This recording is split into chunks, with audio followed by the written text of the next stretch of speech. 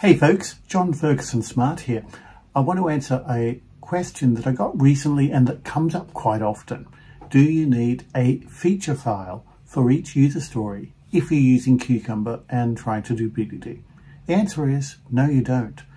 You see, the idea of a feature file is that it is what we call living documentation. It documents a feature. Now, a user story is not a feature. A user story is a slice of value. It's a piece of work. It's a way of planning your how you build your software.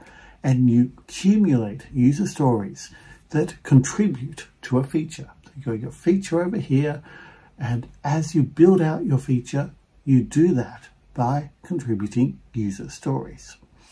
Now, the trick is one user story, as you learn, may contradict another user story or it may change the requirements that you just you thought were true in a previous user story. So if that happens, if you have separate feature files for your user stories, it becomes very hard to maintain.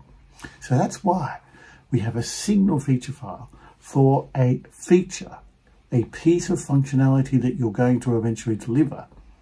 And your user stories contribute into that feature. And that way you curate your user stories. You don't just add them together. You create, you build up a documentation, a living documentation all about your feature that describes what your feature does. Your user stories feed into that. They're not separate things. So I hope that clarifies that particular question.